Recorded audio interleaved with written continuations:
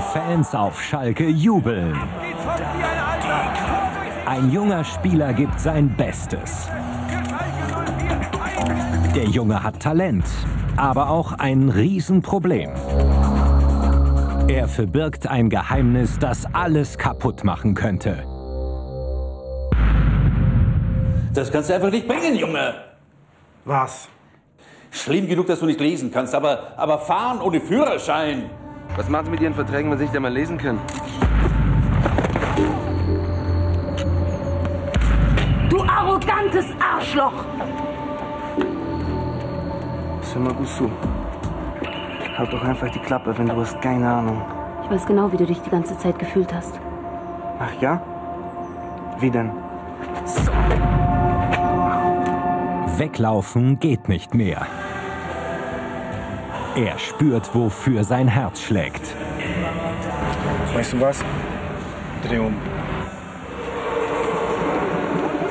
Sebastião weiß, was für ihn zählt.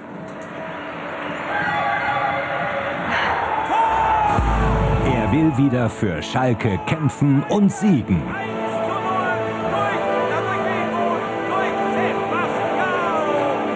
Du hast noch was gut bei mir. Das Kreuz mit der Schrift. Immer freitags um 21.45 Uhr in BR Alpha.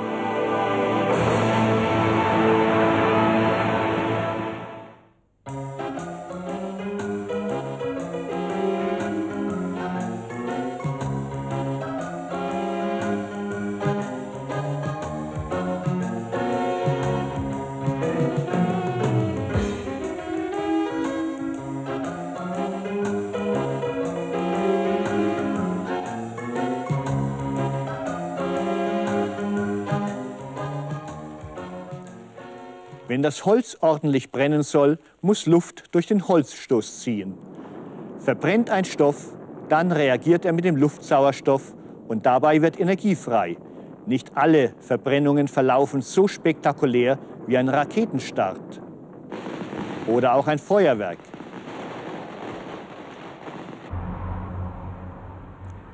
Die meisten Verbrennungen verlaufen nahezu unbemerkt, still und leise wie hier in den Gaslaternen, die die Straße erleuchten, oder auch beim Rosten unedler Metalle wie Eisen. Der Luftsauerstoff verbindet sich dabei mit dem Metall. Chemisch betrachtet ist deshalb auch die Korrosion eine Verbrennung.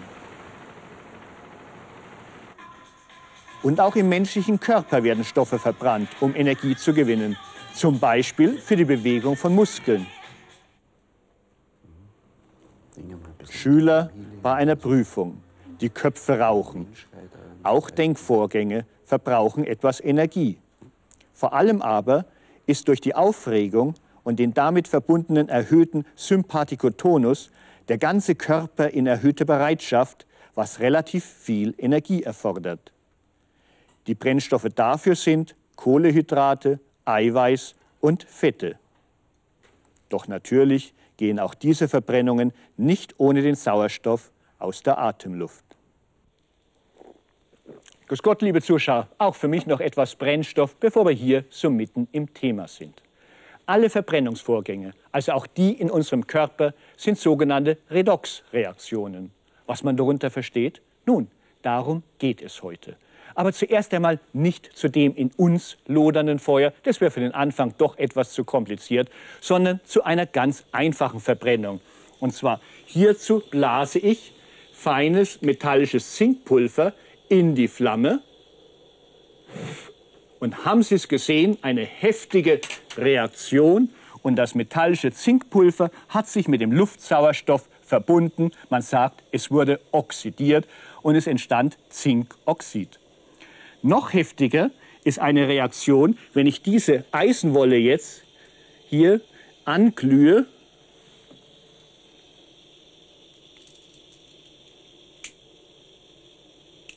Und hier in den reinen Sauerstoff bringe. Sie sehen, es reagiert sehr, sehr heftig.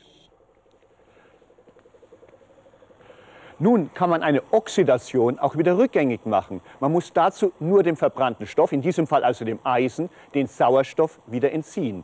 Und dazu verwendet man Wasserstoff. In diesem Experiment leiten wir Wasserstoff aus dieser Gasflasche über das rostbraune Eisenoxid. Es kommt zu einer chemischen Reaktion. Dem rostbraunen Eisenoxid wird durch den Wasserstoff der Sauerstoff wieder entzogen. Man sagt auch, es wird reduziert. Das rostfarbene Eisenoxid färbt sich langsam schwarz.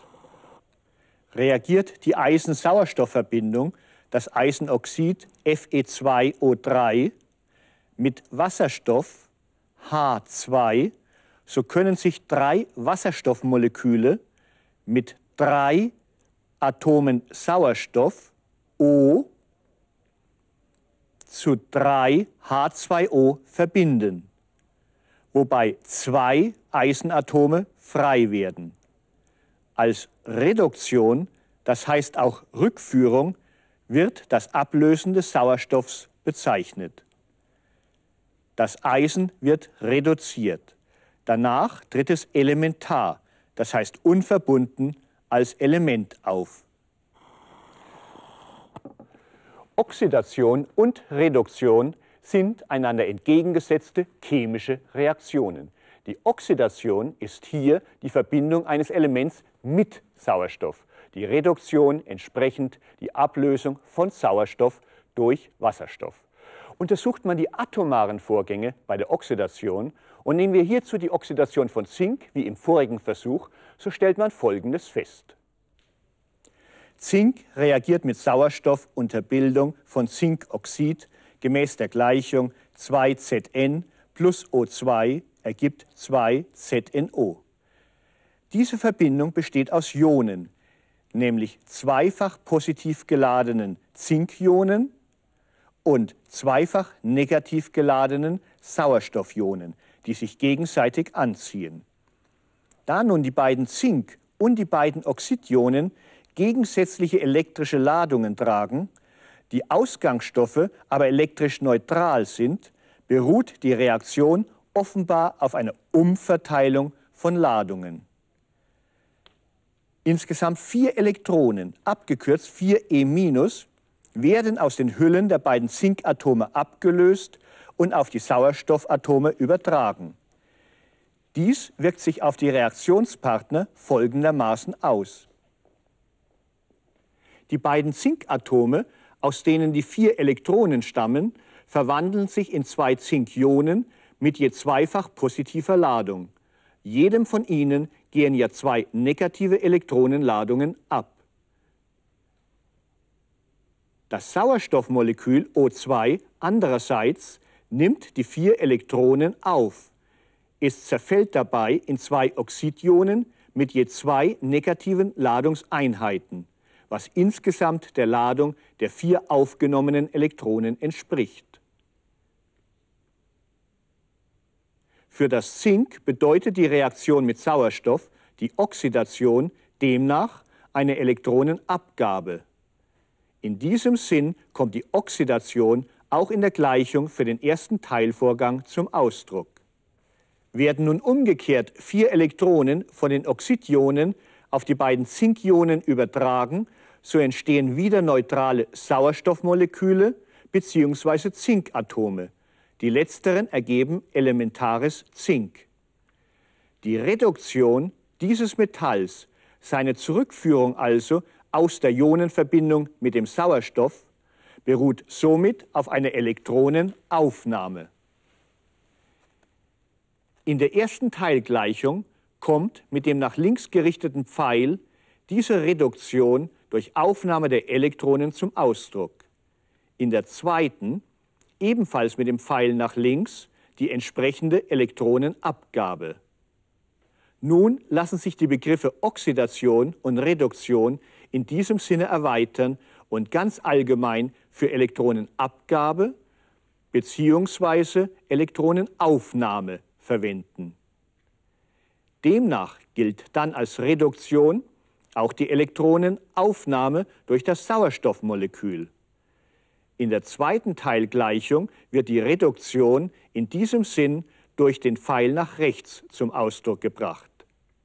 Entsprechend gilt als Oxidation auch die Abgabe der Elektronen durch die Oxidionen. In der zweiten Teilgleichung kommt diese Oxidation durch den Pfeil nach links zur Darstellung. Nun entspricht der Oxidation des einen Stoffes die Reduktion seines Partners und umgekehrt. Ein Vorgang mit Elektronenübertragung wird daher auch als Redoxreaktion bezeichnet. Damit wird zum Ausdruck gebracht, dass sich in einer solchen Reaktion Reduktion und Oxidation zugleich abspielen. Beobachten Sie mit dem soeben erworbenen Wissen nun die folgende Reaktion. Die umgebende Atmosphäre in dem Verbrennungsrohr ist diesmal aber nicht Sauerstoff, sondern reines Chlor, das dieser Gasflasche entströmt. Das Zink wird jetzt stark erhitzt. Und das entstehende Verbrennungsprodukt sieht zwar ähnlich wie das Zinkoxid im vorigen Versuch aus, es kann aber nicht Zinkoxid sein, denn Sauerstoff ist bei dieser Reaktion ja gar nicht beteiligt. Das weiße Pulver kann nur Zinkchlorid sein. Nach diesen Beobachtungen ist es naheliegend, auch die Reaktion von Zink mit Chlor als Verbrennung und damit auch als Oxidation zu bezeichnen, obwohl Sauerstoff nicht daran beteiligt ist. Und es erhebt sich die Frage, spielen sich vielleicht im atomaren Bereich zwischen Zink und Chlor ähnliche Vorgänge wie zwischen Zink und Sauerstoff ab. Dazu noch einmal diese Reaktion im Trick. Zink reagiert mit Chlor und der Bildung von Zinkchlorid entsprechend der Gleichung Zn plus Cl2 ergibt ZnCl2. Diese Verbindung Zinkchlorid nun besteht aus positiven Zinkionen und negativen Chloridionen, wie es die Schreibweise Zn2 plus plus 2 Cl minus zum Ausdruck bringt. Offenbar liegt dem chemischen Vorgang eine Umverteilung elektrischer Ladungen zugrunde. Zink und Chlor sind ja zunächst elektrisch neutral. Bei der Reaktion werden nun zwei Elektronen aus je einem Zinkatom abgelöst wodurch der Rest positiv geladen als Zn2-Plus-Ion zurückbleibt. Dieser erste Teilvorgang lässt sich daher so darstellen. Zn geht über in Zn2+, wobei zwei Elektronen abgegeben werden. Verabredungsgemäß wird dies als Oxidation bezeichnet. Freilich gibt das Zinkatom die beiden Elektronen nur deswegen ab, weil sie vom Chlormolekül noch heftiger beansprucht werden. Durch die Aufnahme der Elektronen zerfällt nun aber dieses in zwei negativ geladene Chloridionen. Der zweite Teilvorgang besteht also in der Aufnahme von zwei Elektronen durch ein Chlormolekül. Diese Reduktion führt zu dessen Aufspaltung in zwei Chloridionen mit je einfacher negativer Ladung. Insgesamt handelt es sich um eine Redoxreaktion. Reduktion und Oxidation sind die beiden Teilaspekte dieses Gesamtvorgangs, der in der Übertragung von Elektronen besteht. Zn und Zn2 bilden ein sogenanntes korrespondierendes Redoxpaar. Sie sind in dem Sinne korrespondierend, also einander entsprechend, als sie eben durch Elektronenübertragung auseinander hervorgehen, und zwar wechselseitig. Denn auch die entgegengesetzte Reaktion ist möglich. Die Übertragung zweier Elektronen vom Chlorid auf das Zinkion stellt die ursprünglichen Verhältnisse der beteiligten Teilchen wieder her, an einer Redoxreaktion sind stets zwei korrespondierende Redoxpaare beteiligt. Hier bilden Cl2 und 2Cl- das zweite korrespondierende Redoxpaar, denn auch sie entstehen auseinander durch Aufnahme bzw. Abgabe von Elektronen. In der Tat sind beide Verbrennungsvorgänge nicht nur äußerlich ähnlich, sie entsprechen einander auch in ihrem atomaren Ablauf. In beiden Fällen werden Elektronen vom Zink auf die Reaktionspartner Sauerstoff bzw. Chlor übertragen.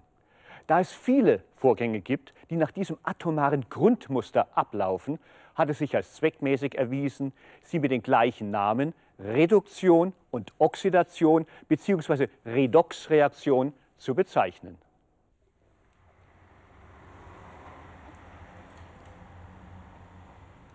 Die unterschiedlichsten Redoxprozesse kann man in einer Müllverbrennungsanlage studieren. Wird Müll unter Luftzufuhr verbrannt, entstehen Oxide in Massen. Verbrennen Metalle, entstehen Metalloxide. Verbrennt Kohle, entstehen Kohlenoxide. Chloride können entstehen, wenn chlorhaltige Substanzen, zum Beispiel der Kunststoff Polyvinylchlorid, in die Verbrennungsanlage kommen. Und all diese Abfallgase lösen sich natürlich nicht in Luft auf. Ein Teil wird von Rauchgasfiltern festgehalten. Der weitaus größere Teil entweicht durch den Schornstein in die Atmosphäre. Das aus einer Müllverbrennungsanlage entweichende Gas enthält neben den Hauptverbrennungsgasen Kohlendioxid CO2 und Wasserdampf H2O, Luftstickstoff N2 und überschüssigen, bei der Verbrennung nicht umgesetzten Sauerstoff. Auch Chlorwasserstoff HCl und Fluorwasserstoff HF, Schwefeldioxid SO2 Stickoxide NOx sowie Kohlenmonoxid CO und eine Reihe organischer Schadstoffe wie Kohlenwasserstoffe und Chlorkohlenwasserstoffe aus unvollständiger Verbrennung entweichen aus dem Schornstein in die Atmosphäre. Zu den größten Oxidationsanlagen gehören neben den Müllkraftwerken auch die Kohlekraftwerke. Um Energie zu gewinnen, wird hier Kohle verbrannt, also oxidiert. Im Verbrennungsschacht des Kraftwerks verbinden sich die Kohlenstoffatome aus der Kohle mit den Sauerstoffatomen aus der Luft. Kohlendioxid entsteht. In der Schaltzentrale des Kraftwerks wird der Verbrennungsvorgang Tag und Nacht kontrolliert. Kohle enthält neben Kohlenstoffatomen aber auch noch Schwefelverbindungen. Beim Verfeuern der Kohle wird deshalb stets auch Schwefel mitverbrannt. Bei seiner Oxidation entsteht Schwefeldioxid, SO2, ein Umweltgift. Weil daraus an der Luft in Verbindung mit der Luftfeuchtigkeit Schwefelsäure, saurer Regen entstehen würde, darf das Rauchgas nicht einfach durch den Schornstein in die Atmosphäre abgeleitet werden. Das Schwefeldioxid muss von einer Rauchgasreinigungsanlage zurückgehalten werden. Das geschieht bei der Rauchgaswäsche. In den Rauchgaskessel wird Kalkwasser zusammen mit Luft gesprüht. Das Kalkwasser enthält fein verteilten Kalkstein, Calciumcarbonat.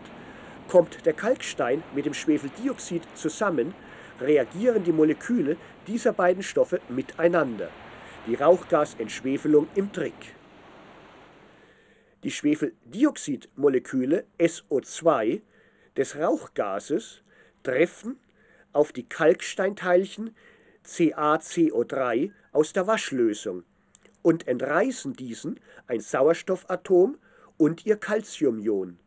Dabei entsteht Calciumsulfid CaSO3 und auch Kohlendioxid CO2, das als Gas durch den Schornstein entweicht. Das Calciumsulfid sinkt nach unten und verbindet sich mit dem Sauerstoff. Dabei entsteht Calciumsulfat, das noch Wasser aus der Waschlösung enthält, CaSO4 mal 2H2O. Besser bekannt ist diese Verbindung unter dem Namen Gips. Wenn das feuchte Calciumsulfat aus dem Waschturm kommt, wird es noch einmal gewaschen und anschließend getrocknet. Auf dem beheizten Förderband verdunstet das Wasser. Trockener Gips entsteht. In Spitzenzeiten produziert das Kraftwerk stündlich über 10 Tonnen Gips. Als Baumaterial oder zu Gipsplatten weiterverarbeitet, kann dieses Produkt aus der Rauchgaswäsche beim Hausbau verwendet werden. So wird ein Abfallprodukt der Kohleverbrennung zu einem nützlichen Rohstoff für die Bauindustrie.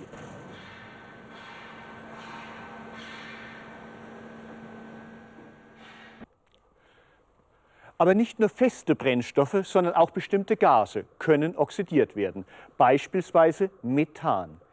Dieses Gas verbrennt anscheinend vollständig.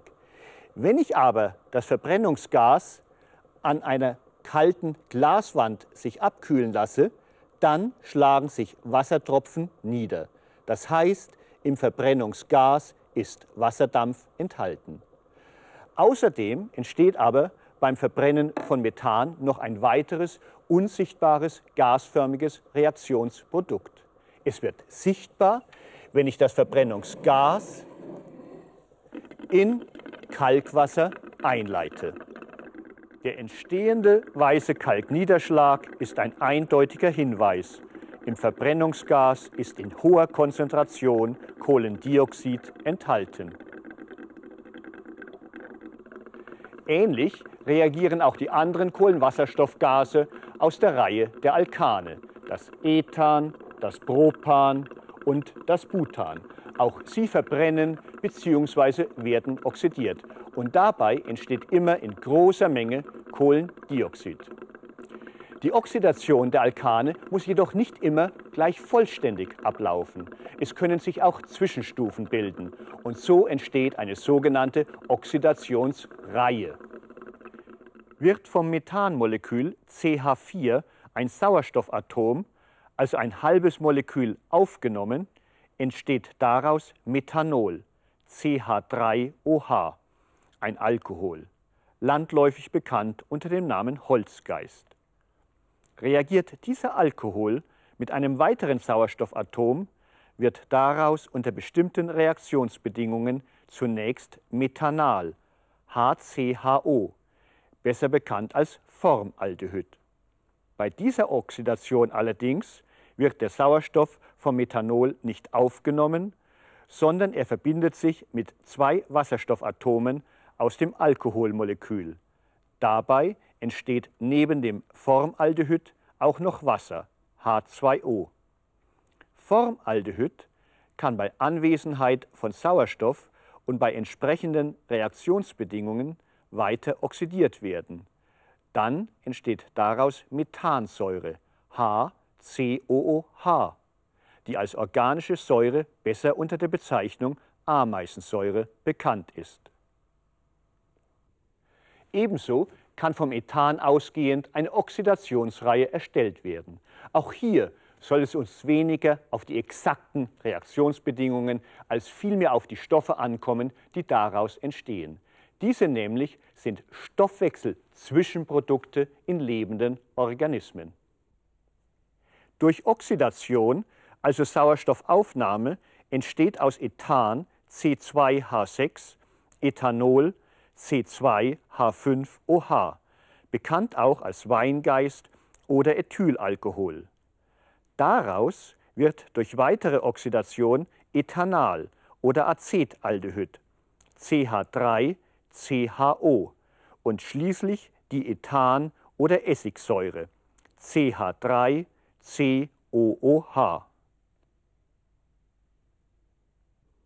Zusammenfassend kann man für die Stoffgruppe der Alkane eine allgemeingültige Oxidationsreihe erstellen. Ein Alkan wird durch Oxidation in einen Alkohol überführt. Aus diesem wiederum entsteht durch weitere Oxidation ein Aldehyd. Und wenn man diesen dann auch noch oxidiert, erhält man eine Carbonsäure. Die perfektesten Oxidations- und Reduktionsvorgänge finden jedoch nicht im Reagenzglas, sondern in unserem Körper statt. Erinnern Sie sich an die Atmung. Der eingeatmete Sauerstoff gelangt in die Lungenbläschen und von hier aus in die Blutbahn. Rote Blutkörperchen binden die Sauerstoffmoleküle und transportieren sie an den Ort des Verbrennungsgeschehens, in die Zelle, genauer in die Mitochondrien, die sogenannten Kraftwerke der Zelle. Hierher gelangen schließlich nach mehreren Reaktionsschritten auch Wasserstoffatome, die aus den Nahrungsmolekülen, zum Beispiel aus Zuckermolekülen, abgespalten wurden. An ein Enzym mit dem Namen Nicotinamid-Adenin-Dinukleotid oder kurz NAD, gebunden als NADH2, kommen sie hier an. Die Elektronen der Wasserstoffatome werden diesen von Enzymen entzogen und über mehrere Stufen auf die Sauerstoffmoleküle übertragen. Dabei entstehen negativ geladene Sauerstoffionen und positiv geladene Wasserstoffionen. Diese Ionen ziehen sich schließlich gegenseitig an und es entsteht Wasser. Dabei wird Energie frei in Form von ATP, die dem Körper für Stoffwechselvorgänge zur Verfügung steht. Wasser scheidet der Körper bekanntlich aus. Ist Ihnen aufgefallen, dass es sich bei dieser Reaktion zwischen Wasserstoff und Sauerstoff um eine entschärfte Knallgasreaktion handelt? Vielleicht erinnern Sie sich, wie im chemischen Experiment Wasserstoff und Sauerstoff miteinander reagieren. Schauen wir es uns noch einmal an. Hier in der Flasche ist Wasserstoff und ich öffne den Hahn und er wird aus Sicherheitsgründen durch diese Wasserflasche geleitet und tritt hier aus. Und wenn ich ihn nun mit dem Reagenzglas auffange, den Wasserstoff, und ihn nun entzünde, haben Sie es gehört? Die Knallgasreaktion. Aber ziehen wir nun Bilanz dieser letztendlich gleichen Verbrennung in der Zelle. Ein Traubenzuckermolekül C6H12O6 wird mit sechs Sauerstoffmolekülen O2 aus der eingeatmeten Luft verbrannt. Dabei entstehen sechs Wassermoleküle H2O und sechs Kohlendioxidmoleküle CO2, die ausgeatmet werden. Das Traubenzuckermolekül wird also oxidiert, der Sauerstoff reduziert. Dabei wird Energie in Form von Adenosintriphosphat oder kurz ATP frei. Das Kohlendioxid wird in der Lunge von den Blutkörperchen in die Alveolen abgegeben und ausgeatmet. Wie elegant hat doch die Zelle diese Redoxreaktion gelöst. Kein Knall, kein Feuer, aber Energie in einer Form, auf die jederzeit zurückgegriffen werden kann. Sind sie nicht wahre Wunderwerke, unsere Körperzellen? Mit einem kleinen Tipp zum Thema Redoxprozesse möchte ich mich für heute von Ihnen verabschieden. Falls das Telekolleg merkwürdigerweise nicht Ihre ganze Energie erfordert, so nutzen Sie doch einfach die überschüssige Energie aus den Redoxprozessen Ihrer Körperzellen. Sie können damit einen Heimtrainer betreiben und damit gleichzeitig auch ein Fernsehprogramm und sich während des Trainings die Telekolleg-Sendungen anschauen. Und so kommt neben Telekolleg und Fernsehprogramm auch die körperliche Ertüchtigung nicht zu kurz. Telekolleg, ein Rundumpaket für den gesamten Menschen.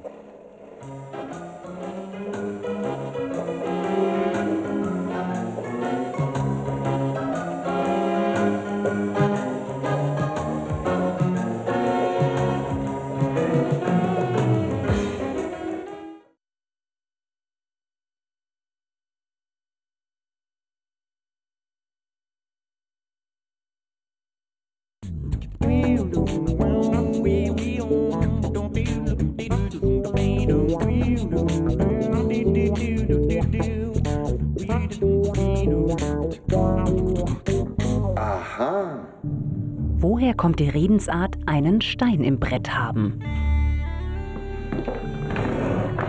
Die Redensart stammt von einem Würfelbrettspiel aus der Antike, das Puffspiel oder Tricktrack heißt und im Mittelalter sehr beliebt war. Es entspricht dem englischen Backgammon. In der Türkei als Tavli bekannt, wird das Spiel auch heutzutage sehr gerne gespielt. Ein Stein bei jemand im Brett haben ist ein geflügeltes Wort, übernommen aus der Umgangssprache des alltäglichen Lebens. Es bedeutet gut angeschrieben sein, Wohlwollen genießen, bevorzugt werden. Das erste Mal taucht die Redewendung 1529 in der Sprichwörtersammlung von Johann Agricola auf. In dem Spiel geht es darum, Steine zu versetzen und so aufzustellen, dass der Gegner blockiert wird. Gespielt wird mit je 15 weißen und schwarzen Steinen.